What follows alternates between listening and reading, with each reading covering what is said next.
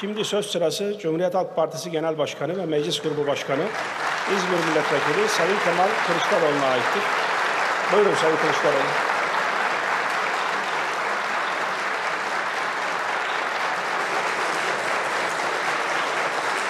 Teşekkür ederim Sayın Başkan.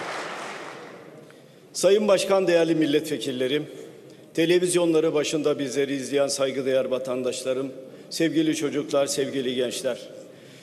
Cumhuriyet Halk Partisi adına Türkiye Büyük Millet Meclisi'nin açılışının 102. yılını ve 23 Nisan 1923 Ulusal Egemenlik ve Çocuk Bayramınızı yürekten kutluyorum. Sayın Başkan ve değerli üyeler, Meclisin açılışının 102. yıl dönümünde sizleri bir tarih yolculuğuna çıkarmak istiyorum. Büyük Önder Mustafa Kemal Atatürk bu yolculuğumuzda bize rehberlik edecek. Tarih 1 Mart 1922. Atatürk Türkiye Büyük Millet Meclisi'nin 3. yasama yılının açılış konuşmasını yapıyor. Konuşma şöyle. Yüce Meclis'in bir yılda yaptığı birleşim 167'dir. Bu birleşimlerde 271'i açık ve 69'u gizli ve 19'u kısmen gizli, kısmen açık olmak üzere toplam 359 oturum yapılmıştır. Yüce Meclis bu geçen yıl içinde 177 kanun tasarı ve teklifini birinci yasama yılından devir almıştır. İkinci yasama yılında da 355 kanun tasarı ve teklifi geldi. 10 tane de tezkere ve önerge olarak geldikten sonra kanun işlemine tabi tutuldu. Böylece 542 kanun tasarı ve teklifinden bu yıl içinde 94'ü kanunlaştı, 65'i reddedildi. Bir daha ifade edeyim. 94'ü kanunlaştı, 65'i reddedildi. 30'u Bakanlar Kurulu'na gönderildi. 15'i Bakanlar Kurulu veya sahipleri tarafından geri alındı. 18 kadarı ilgili kanunlarla birleştirildi. 6 adedi karar şeklinde kabul edildi ki toplam 228 eder.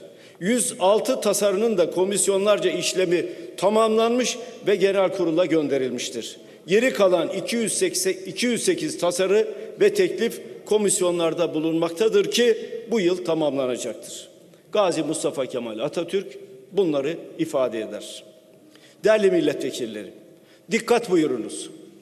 Türkiye Büyük Millet Meclisi bu görevi yaparken Bakanlar Kurulu'ndan ya da milletvekili grubundan gelen kanun tasarılarını, tekliflerini kayıtsız şartsız kabul etmemiştir. Türkiye Büyük Millet Meclisi hakimiyetin kayıtsız ve şartsız millete ait olduğunu, ait olduğu ilkesinden aldığı güçle cephede de savaşmış, Bakanlar Kurulu'nun isteklerine de karşı çıkabilmiştir. Atatürk'e gazilik ünvanını veren meclis, Milli Kurtuluş Savaşı'nın ana karargahı olduğu için Gazi Meclisi olarak nitelendiriliyor. Kaldı ki Türkiye Büyük Millet Meclisi bazı mensuplarının bizzat cephede savaşmış olması nedeniyle de Gazi Meclis'tir. Cephede de mücadele ettikleri için kırmızı yeşil şeritli istiklal madalyasına sahip asker kökenli olmayan milletvekillerinin sayısı yaklaşık 50'dir. Değerli başkan, 100 yıl önce bu yüce meclisin, Gazi Meclisimizin çalışma koşul ve prensipleri ve başarıları bu şekildeyken bugün üzülerek ifade edeyim ki yetkileri kısıtlanan milletvekillerinin denetim ve yasama görevlerini tam olarak yerine getiremediği, sınırlandığı, hatta engellendiği bir tabloyla karşı karşıyayız. Yürütme organı tarafından getirilen kanun tasarılarının veya milletvekillerine verdirtilen kanun tekliflerinin tek bir merkezden hazırlanması, hazırlanan tasarı ve tekliflerin büyük bir bölümünün sorgusuz sualsiz yapılan tüm uyarılara ve önerilere rağmen neredeyse virgülüne dahi dokunulmaksızın kabul edilmesi, muhalefet tarafından verilen kanun tekliflerinin ahlaki, vicdani ve hukuki dayanaktan yoksun bir biçimde reddedilmesi bir sorun olarak önümüzde durmaktadır.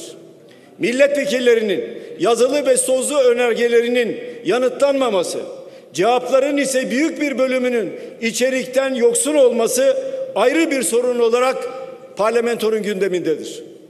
Oysa 100 yıl önce yani 100 yıl önce bu meclis az önce Mustafa Kemal Atatürk'ün konuşmasından yaptığım alıntılarda da görüleceği üzere tüm fikirlerin özgürce tartışıldığı, ortak görüşün oluşması için azami düzeyde çalışıldığı bir meclisti. Üstelik o meclis bir yandan özgürce tartışıp yasa yaparken öte yandan işgal güçlerine karşı bizzat savaşan bir meclisti. Sayın Başkan, gelecek yıl bu sıralarda Türkiye Büyük Millet Meclisi'nin açılışının 103. yılını kutlayacağız. 29 Ekim 2023'te Cumhuriyet'in ikinci yüzyılına ilk adımı atmış olacağız.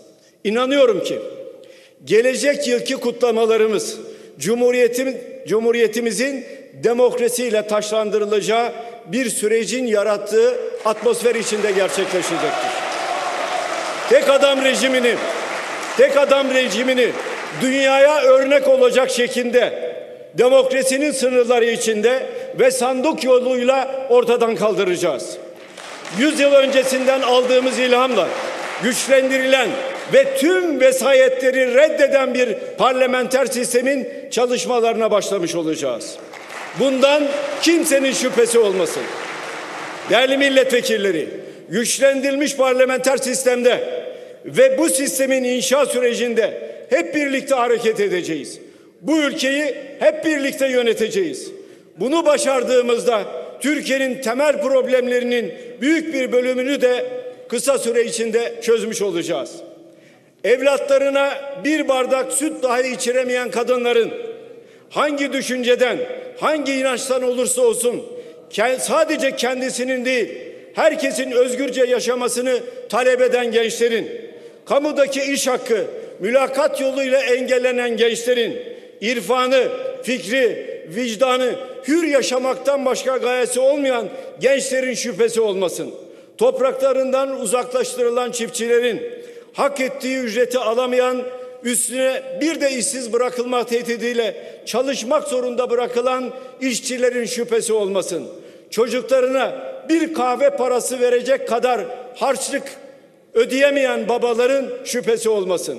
Sadece 2021 yılında faturasını ödeyemediği için elektriği kesilen, karanlığa mahkum edilen yaklaşık 4 milyon abonenin şüphesi olmasın.